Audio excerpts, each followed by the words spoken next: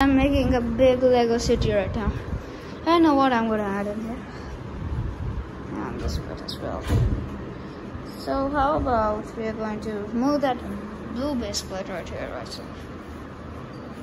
Get that. Take these two. Put it on the other side of a city right there. These nice looking rose plates. Don't want to harm them.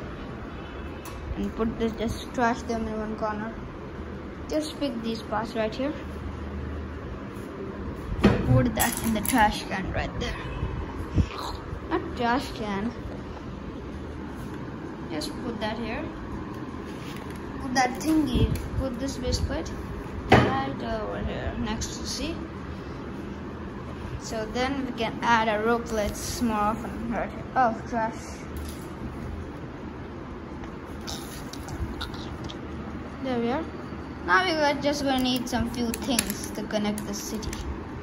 But it is to be huge. We have to have a lot of people in there.